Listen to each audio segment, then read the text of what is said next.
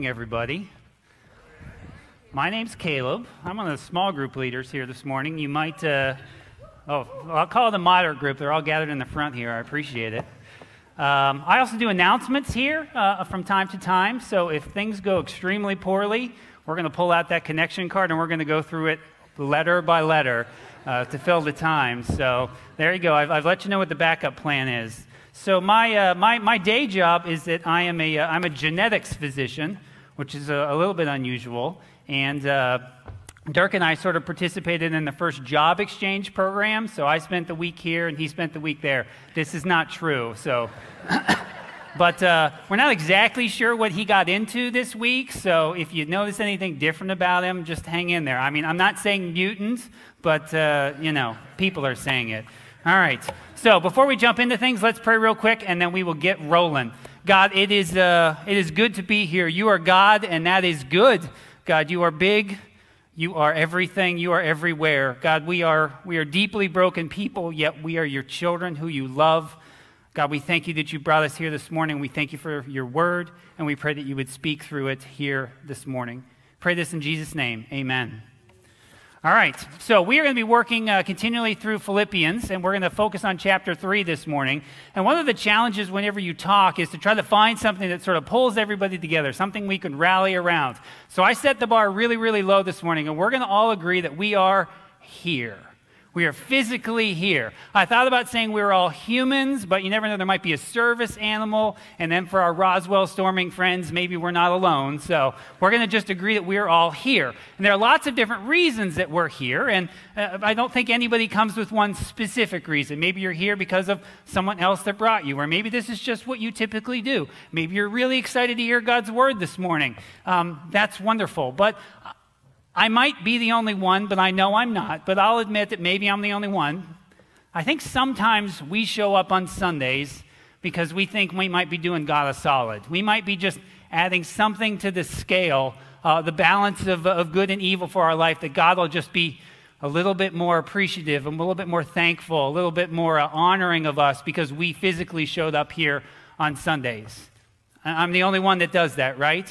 All right, well, I'm up here speaking this morning, so I put a huge thing on my scale. So the rest of my week, I can just go out and do whatever I want because I balanced it out, right? Okay, so we bring things to God that we think He's going to be happy with. We bring things to Him that we think He's going to be proud of, and we put it on ourselves. And Paul is no exception to that. And in Philippians 3, he's going to lay out some of the things that he brought to God that he felt or things that would make him worthy. So let's also remember the context that Paul is, uh, is speaking to the Philippians in. This is a church that he has planted. This is a church that he cares deeply for. This is a church that has supported him financially uh, on multiple occasions. And he is writing to them uh, to thank them and to also encourage them and to teach them. And one of the big themes of Philippians is unity. And one of the challenges of having a united group is our motivations. Why do we do things uh, and what makes that happen?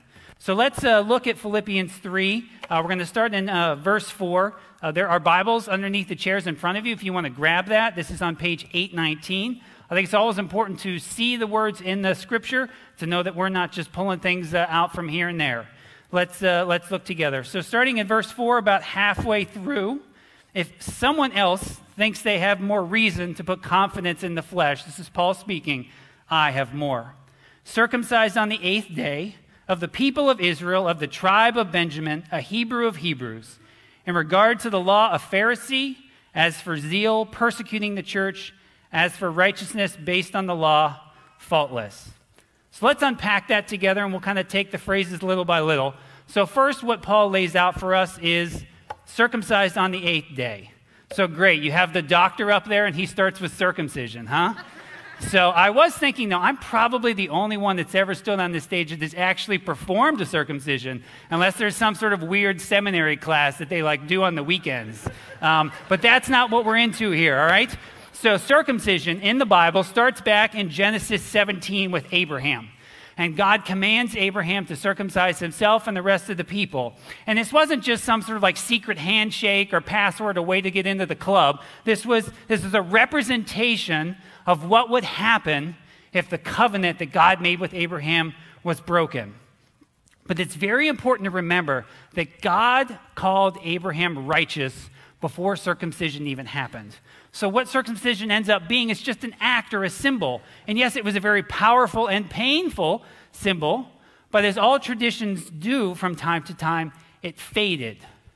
There's sort of a, story that talks about a, a remote uh, a group of people that came and worshiped at a, at at a giant dry riverbed. And people sort of wondered why were they there? Well, it turns out that generation after generation they had gone to that place because once there used to be a giant, powerful, flowing river but it was no longer there. So the bed lacked the power of the river, but the people were still there. So I've grown up a, sort of a, a, denominational mutt. I counted them up, and over my church going years, I've been through seven different, seven different denominations. And I have seen a variety of ways of dressing up here. I worked really hard to find something to wear this morning, and I, I, I, think it worked out okay. But I have seen, I have seen robes, I have seen the suit, I have seen things more casual. I've seen flip flops up here. My mother-in-law loved the flip flops the week that that happened. I hope she's not watching this. From a worship perspective, right? Boy, there are sure lots of different ways to do worship. There's the choir, there's the organ, there's the bell choir. When I was young, my dad uh, used to like conduct up front with the arm like this. My favorite was Victory in Jesus. That was my favorite one that we sang. Um, and you have more modern expressions of worship from guitars. And my personal favorite is the electronic drum kit where you can hear them hitting the pads over the actual sound of the drum. That's my favorite way to worship. Um, none of these things are bad things, though. They're often, often things to be treasured, things to be enjoyed, things to be celebrated. But what happens is good things become ultimate things. And circumcision is all over the Bible as an example of that because it was a symbol, it was a very good intended thing that became an ultimate thing. If you want to read a little bit more about that, Romans 4 is a complete takedown of circumcision by Paul because it had become a source of salvation rather than a sign of salvation. So let's keep, walk, let's keep walking through this together. So, picking up um, again where we left off. Of the people of Israel, of the tribe of Benjamin, a Hebrew of Hebrews. So, all throughout the Bible, there are lots of, uh, family trees that get listed. Um, you know these because when you get two of them in the Bible reading plan, you're like, all right, I get out really quick today because I can just like skim these. But if you're like me, then I feel guilty that there's probably something really spiritual in these people's names, but then I eventually give up because I can't pronounce any of them, anyways. Um, but what these are and why they're included in, in, in the scriptures is that they were a reminder to the people of God's, of God's presence over the generations, over the, the lineage that He had given given them. And Benjamin, which Paul traces his ancestry to, was a very, very important group, an important tribe. They were the, uh, the tribe that was loyal to David when things went crazy, when David was king. Benjamin is where the city of Jerusalem was eventually located at. And if you'll remember, the very, very first king was from the tribe of Benjamin. And do you remember what the first king's name was? It was Saul. And who's Paul named after? He's named after Saul. So this is a big deal where he came from. But again, these family origins and family histories became more. They became a sense of false reassurance for the people. So I work in genetics, and one of the things that we do is sort through family things a lot of times. And from time to time, genetics will reveal that someone's family isn't really their family. Maybe dad isn't who you thought it was. And that really throws families for a loop to have something that they've always held on to and known that was normal completely taken away from them. So I'm not trying to offend anybody if you're into genealogies or you like, uh, if you've swabbed your cheek and done the Ancestry.com thing, we should talk about that later. But uh, do what you want to do, but remember that uh, your background, your family, it can't save you. And that's really hard to hear sometimes because a lot of us come from incredibly kind, holy backgrounds of families that have loved us and raised us and nurtured us. But the families that we come from cannot save us in themselves. For me as a parent, this is a huge, huge challenge because what I want more than anything for my children is for them to personally know and accept the saving power of Jesus. But there's nothing that I can personally do to make that happen. There's a pastor, Pastor Matt Chandler, and he uses an analogy that I really like with parents and kids is that we can pile up kindling wood around our children over and over, but we can't light the match. So, again, think about the families that we come from, the things that we do, the things that we have been blessed with from our families, but that's never going to be enough. So, both of these things that we've talked through here circumcision and sort of family background most of these are essentially out of our control. They're things that we don't always even have a say in. But let's flip those and see God's goodness in that. So maybe you were never wanted by your family. Maybe you were told that, or maybe it was just implied over time. Maybe things were messy for you growing up, and the idea of God as your father is really hard. Maybe family hasn't ended up being what you thought it was going to be, and your past just seems too much, too much to handle. The good news there is that none of that matters because it's not about you. It's never been about you, and that's a good thing. That's going to be our thesis for today. Steven Lawson, who's a commentator in the, in the book of Philippians, points out that everyone is saved by grace alone, through faith alone, in Christ alone. And that was Paul's experience, and that's our experience. Grace alone, through faith alone, in Christ alone. All right, let's keep walking together. So, next, Paul says, in regard to the law, I was a Pharisee. So, I want you to remember that wasn't quite as much of a loaded term back then as it is now. And what it required to be a Pharisee was a lifelong process of learning and altering your behavior because of what you learned. It was an all encompassing lifestyle. And it was a lifestyle based on very good things, based on the pursuit of God's law and what He says. We think of a lot of people nowadays that we celebrate for their dedication. Think about athletes and the, the, the, toil and the work that they put into refining their, their body to be able to participate in the sport. Think about activists who, who feel passionately about something and dedicate their entire life to it. These are very, very good things. But again, good things become ultimate things. Because the issue with the law, which the Pharisees studied, is that the law was meant to be unkeepable.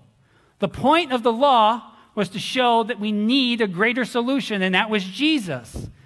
Jesus himself, when he hung out with the Pharisees, he proclaimed woes on them. And this is, this is in Matthew 23, where he talks about they're, they're striving to be a, a cup or a bowl that's polished and nice looking on the outside, but inside it's rotting. There's nothing that we can dedicate our lives to that will gain us salvation apart from Christ. If you dedicate your life to world peace, poverty and the cure of cancer. Those are all very, very good things. But if that's what your life's about and that's what it's dedicated to, that's never going to be enough. So let's flip this one too, as far as the law goes. Maybe the names and the stories in the Bible are completely foreign to you, and the worst thing that someone could ever ask you to do was to look up a verse in the Bible, right? Or maybe if someone mentions the minor prophets, you think that those were ones that were written by people 18 or under. Okay, all right, there we go. We're still alive. All right. All right, okay. If you memorized every word of the Bible, which is exactly what the Pharisees did, you would not have enough to talk your way into salvation. Again, to go back to where we came from, it's by grace alone, through faith alone, in Christ alone. So Paul next says, as for zeal, again, this is sort of in the, in, in the vein of the Pharisees, as for zeal, persecuting the church.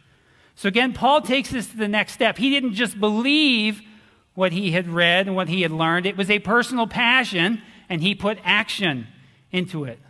Paul took this and actually went out and persecuted the Christian church because he was so convinced that what he was doing was right.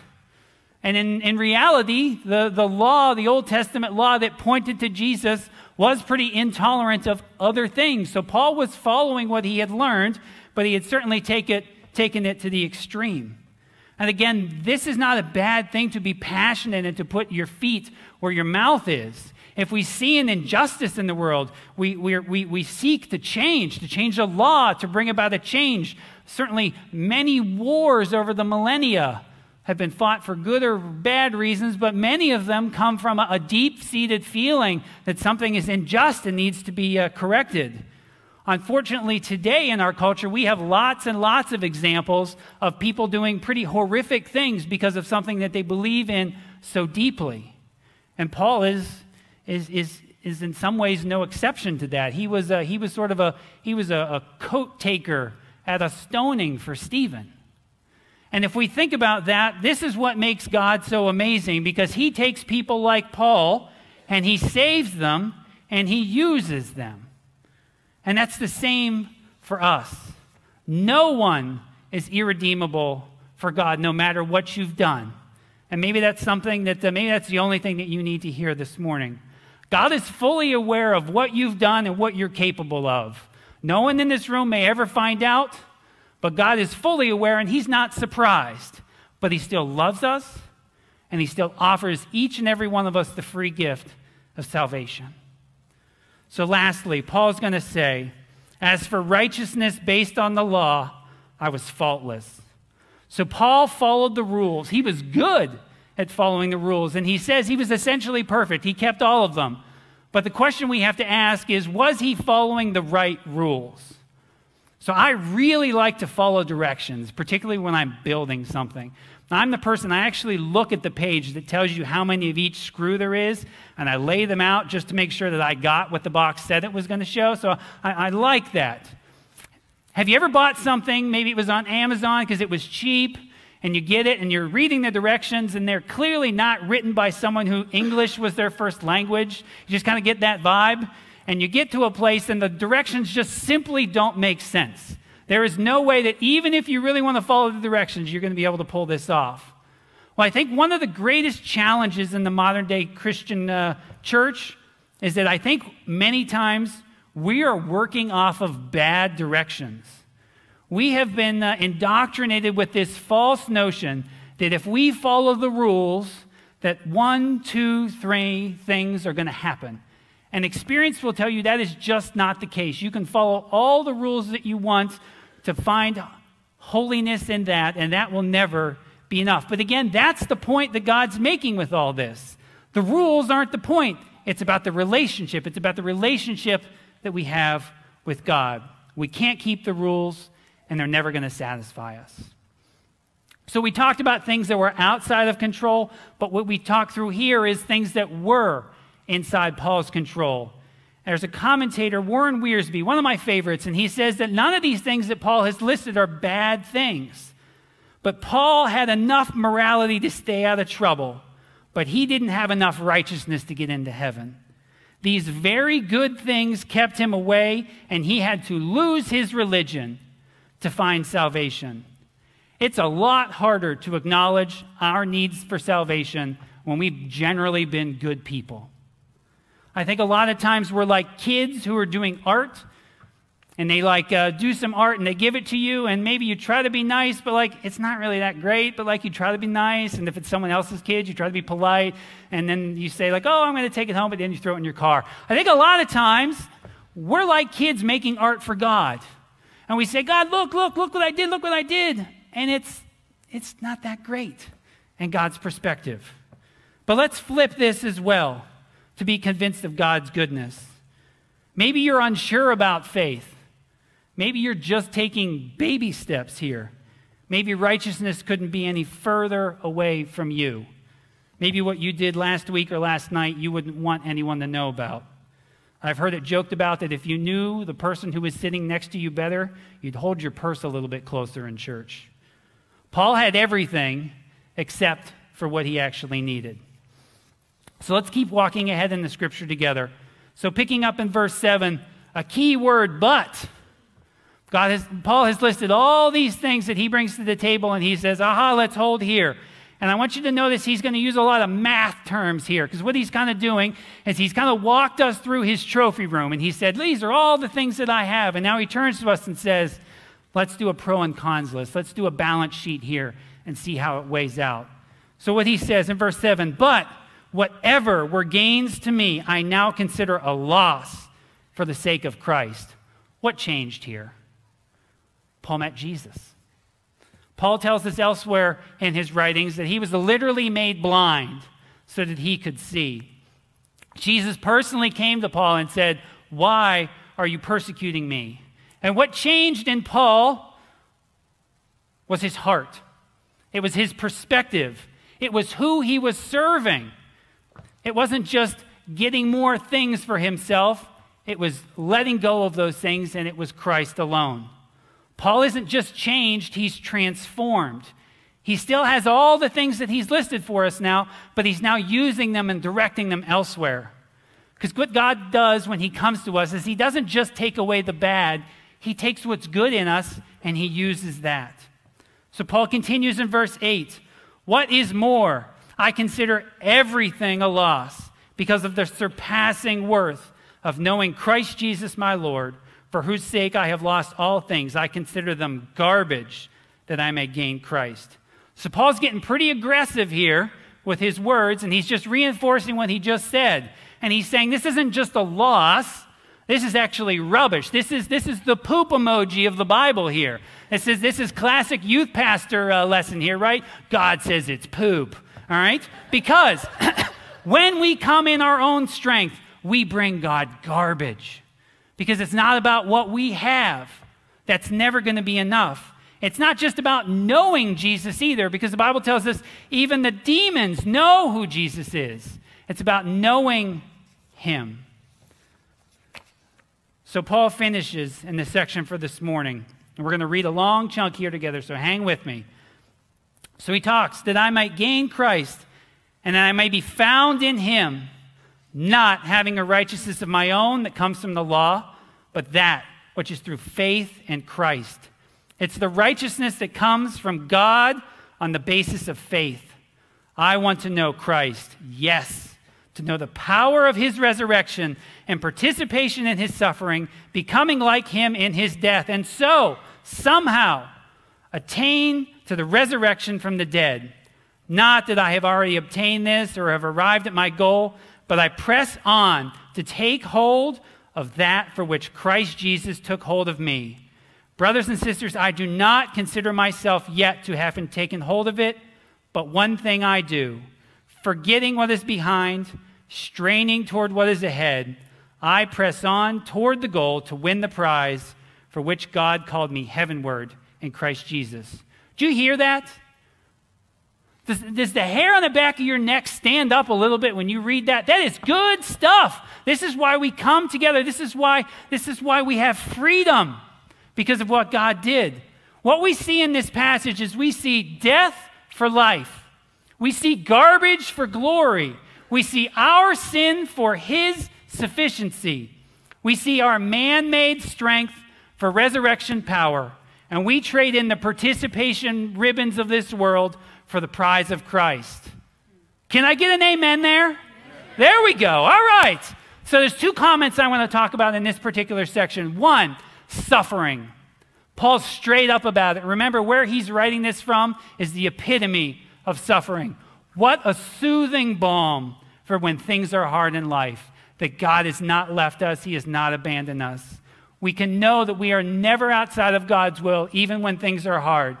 The Bible, unfortunately, is not a promise of a happy, clappy life. There's no apostles' cruise sponsored by K Love to the Caribbean.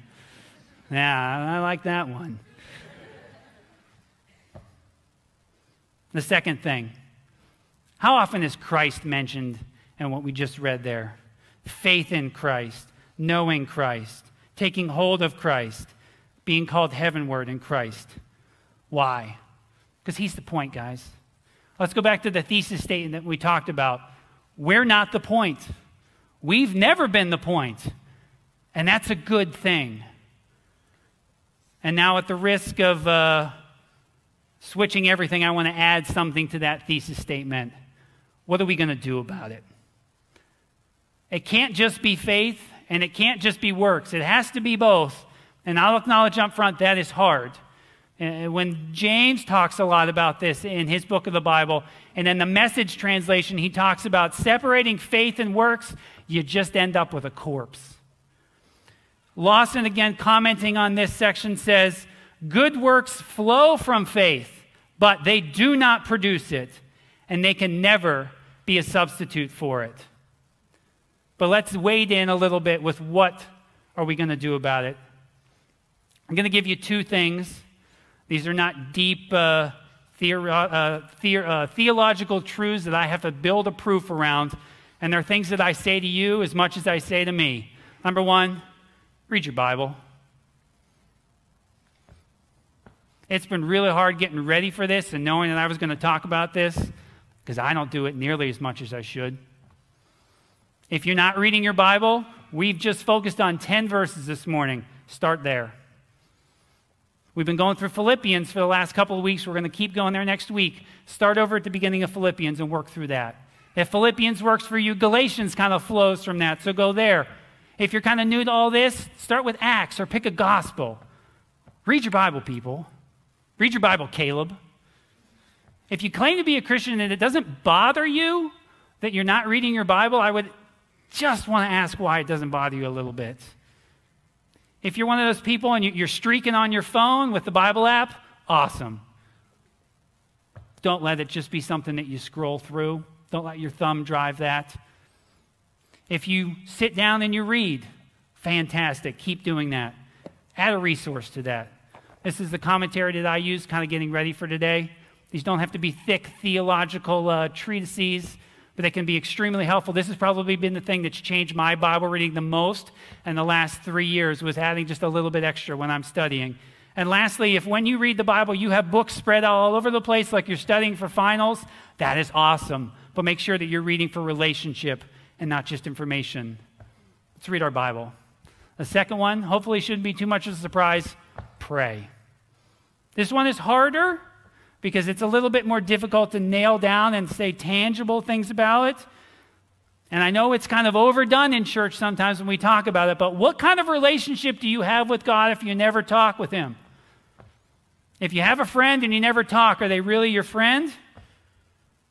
Maybe you don't know how. I get it. It is hard.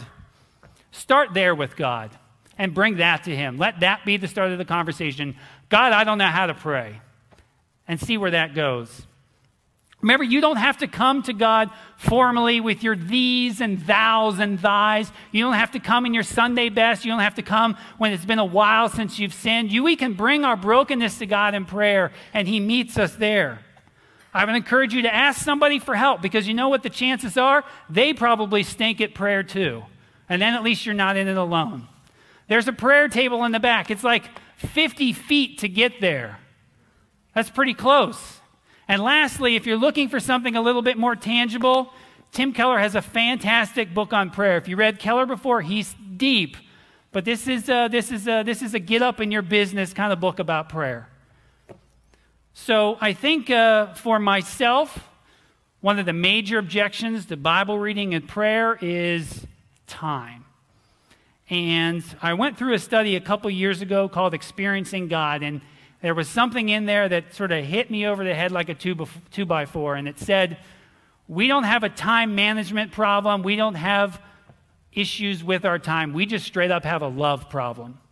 Because what it comes down to for me, and I'm going to infer you, is I just don't love God enough to choose to spend time with Him many times. When I go through a day and haven't had time in my Bible and time praying, I can look back on the day and think of lots of other things that I chose to do instead.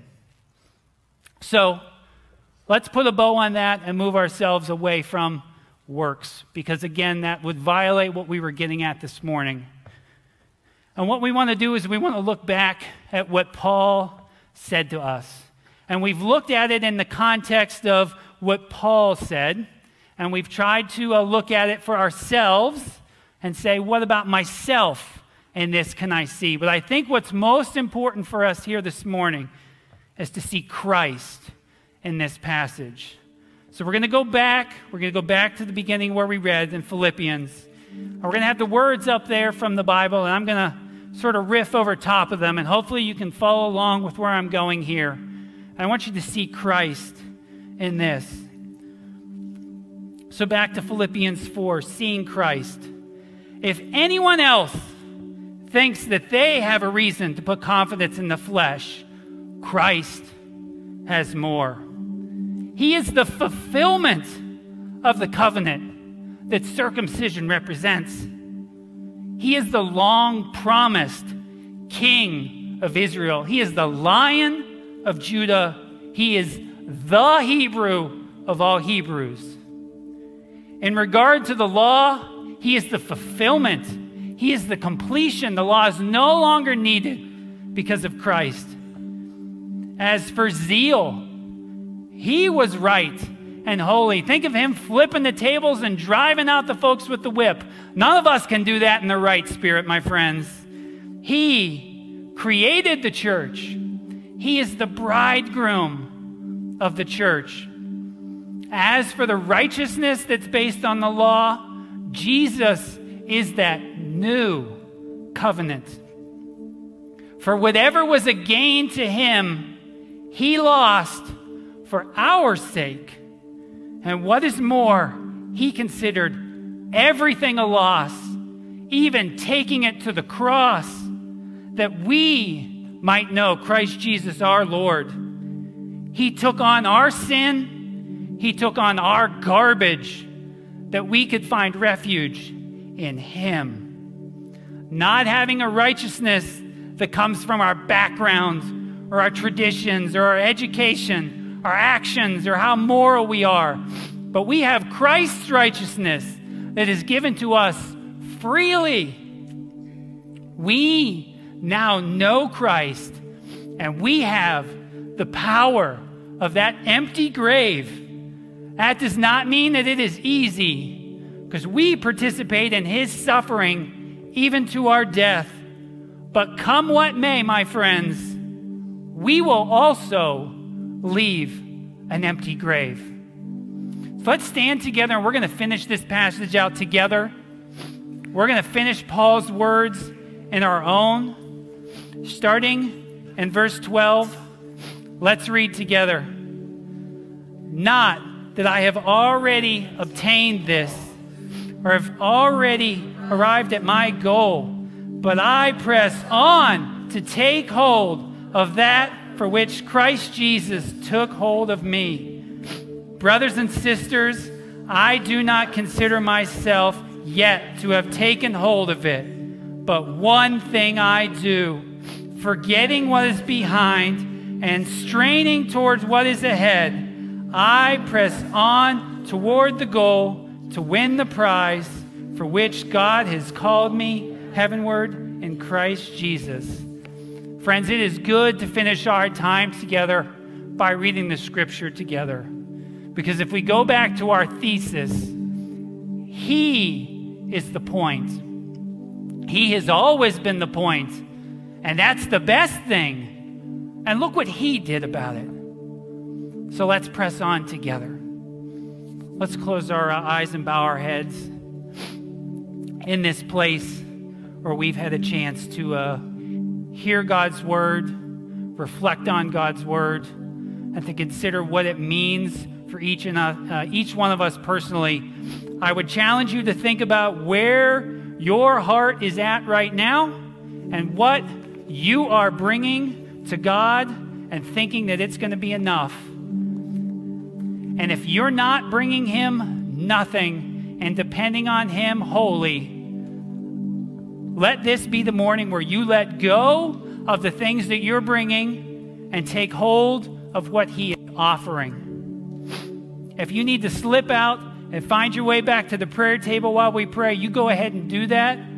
Don't let this morning, don't let the people next to you, don't let anything else get in the way of being right with God in this place and in this time.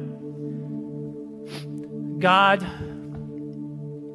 you are everything. You've always been everything, and you always will be. And God, for some reason, you chose us as your children. You chose to create us, even though you knew, you knew, God, that we would mess up almost immediately. And God, that wasn't the end of it. You prepared a way for a long, long time for us to become right with you. And then you sent your son to finish it. God, we live in the death of Christ and nothing else. God, help us to understand that. Help us to be convicted of that. Help us to change what we're doing and who we are because of that. Because, God, that's actually what matters. In this day and then in the next day and for all of eternity, you are the only thing that matters. We pray to you in Christ's name. Amen.